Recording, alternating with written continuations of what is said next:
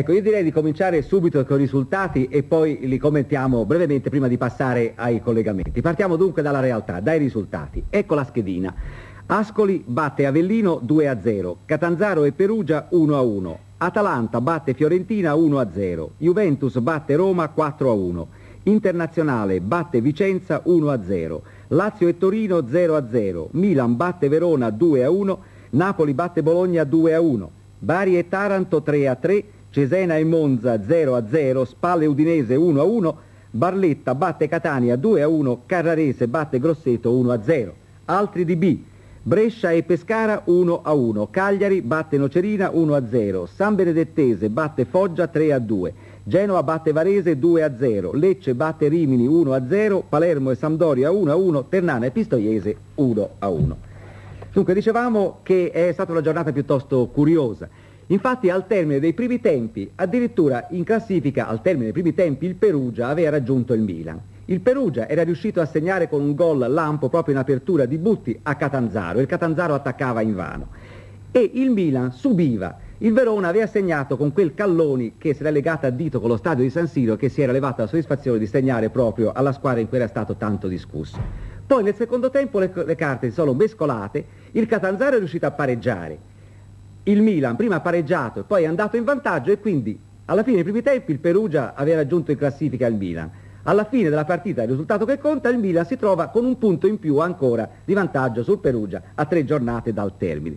Vedremo adesso la classifica. Per quanto riguarda la coda della graduatoria, l'Ascoli ha fatto un grossissimo passo a spese del diretto avversario Avellino. L'Atalanta addirittura è andata a vincere a Firenze, però è in ritardo, comunque ha fatto una bella impresa.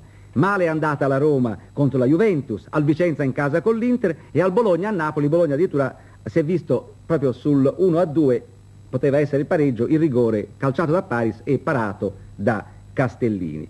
Vediamo dunque la classifica.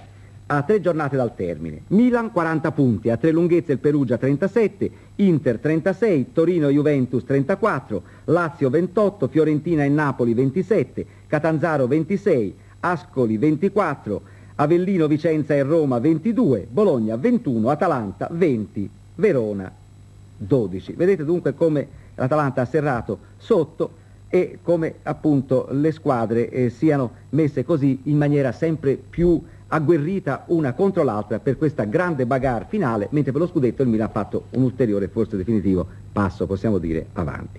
Bene, allora vediamo adesso la vittoria dell'Inter a Vicenza per 1-0 con rete di Oriali all'inizio della ripresa. Pronto Paolo Arcella? Sì, è stata una bella partita, giocata con grande determinazione da entrambe le squadre. Ha vinto l'Inter e non si può dire abbia rubato nulla, ma si deve riconoscere però che il Vicenza ha battutosi coraggiosamente, nonostante la decimazione dei ranghi, un pareggio se lo sarebbe davvero meritato. Il primo tempo non ha offerto molte emozioni.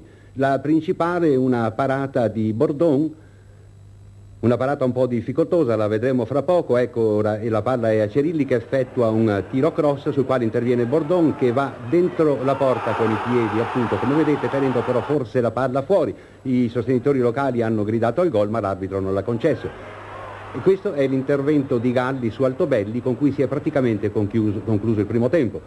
La ripresa si è aperta con una grossa occasione da gol per il Vicenza che è andato molto vicino alla segnatura come si vede, ma i difensori interisti si sono salvati un po' fortunosamente e l'offensiva interista si è risolta nel nulla. E anzi, proprio sul prosieguo dell'azione che nasce in questo momento, nasce il gol interista. Ecco l'affondo sulla sinistra.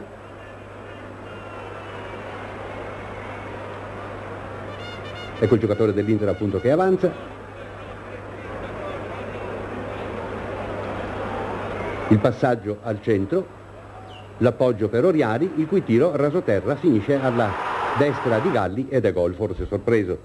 E al dodicesimo l'Inter quasi raddoppia, ecco l'azione ma eh, Galli stavolta è bravissimo e i difensori lo aiutano a salvare la loro rete. Si scuote poi il Vicenza e si rovescia con rabbia all'attacco. Al ventitresimo il pareggio sembra cosa fatta, ma la porta interista, come si vede, sembra stregata e l'azione si risolve nel nulla. Due minuti più tardi, azione quasi identica, ecco la rovesciata di Briaschi, altro palo, ma appunto il tiro finale di Rossi è sul fondo e nulla da fare per il Vicenza, il gol non viene, viene al 41esimo.